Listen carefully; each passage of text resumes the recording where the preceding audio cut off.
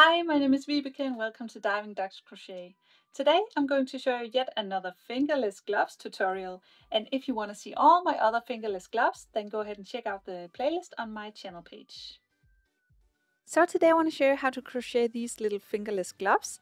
They takes no time to do at all. I only took about half an hour to do both of these and they don't take up a lot of yarn but yet they are really really warm so they're actually a perfect little project even if you're a beginner because they are so easy to do.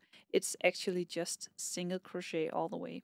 So just follow this tutorial and then you can make these nice fingerless gloves. Let's begin. First a little about the materials for the yarn. I've used this Honey Bunny from Hobbii. You can see the info right here. This is a super bulky weight 6 and it calls for a 7 millimeter hook. I will write down in the description how much yarn you will need for this project. Then I've used my 7mm crochet hook and some scissors and finally a tapestry needle. First we begin with a slip knot. Make a loop with your yarn, take the long end of the yarn behind the loop, grab it from the middle with your hook and pull. Then we chain 14, so yarn over and pull through. Yarn over, pull through 14 times in total.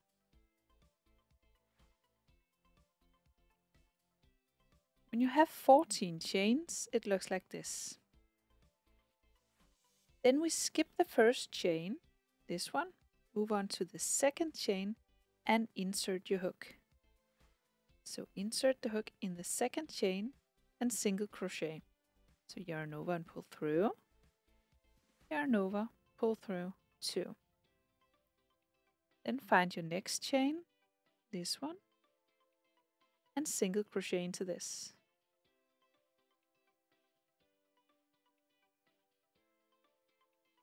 Do one single crochet in every chain all the way across.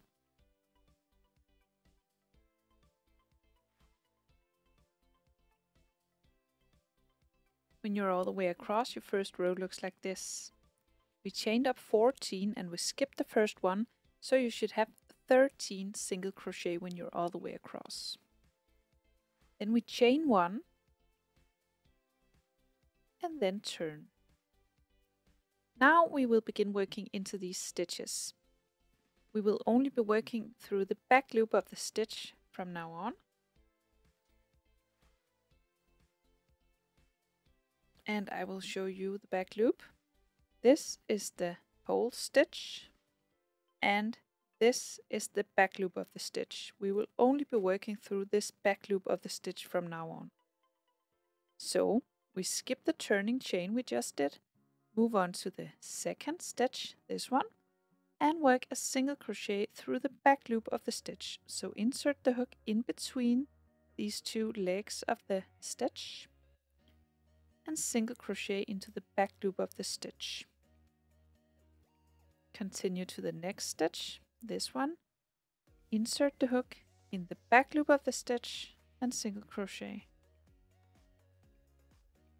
And the next one, back loop, single crochet. Continue with one back loop, single crochet all the way across and you should still have 13 stitches when you're all the way across.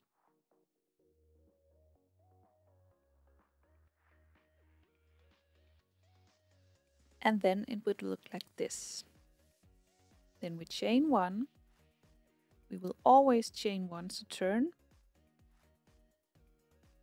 And then repeat this row. So just skip the first one, move on to the second stitch and do a back loop single crochet. So skip your turning chain, insert the hook in the next back loop, single crochet.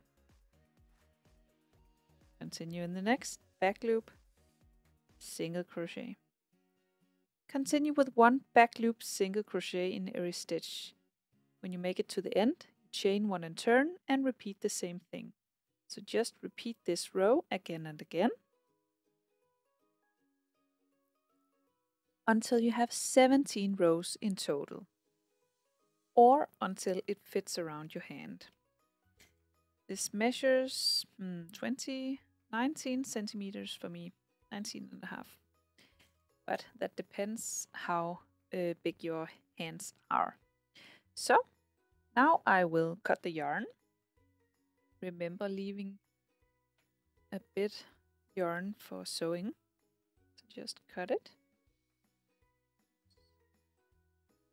And then pull this loop through and then find your tapestry needle.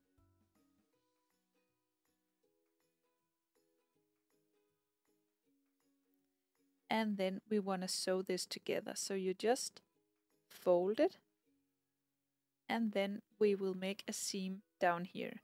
Remember we we have to leave room for the thumb. So we'll just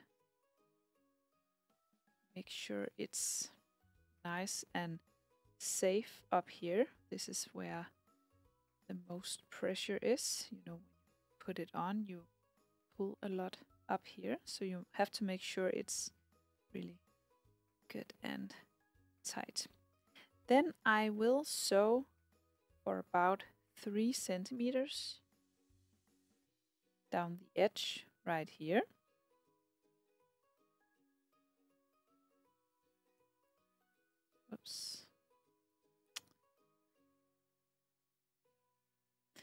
And then I will um, weave in this yarn or secure it. Then I will cut it.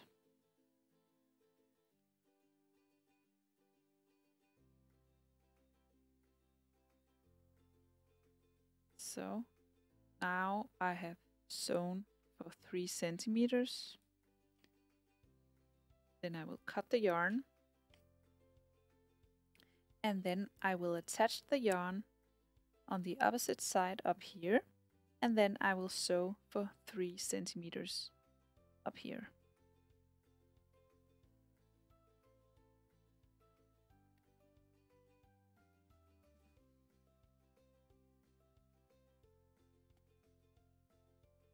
Then I weave in this end as well just like the other side, like that. And then cut the yarn, remove all this extra fuss. Then I turn it around. And there we have it. And I have, of course, made another one as well.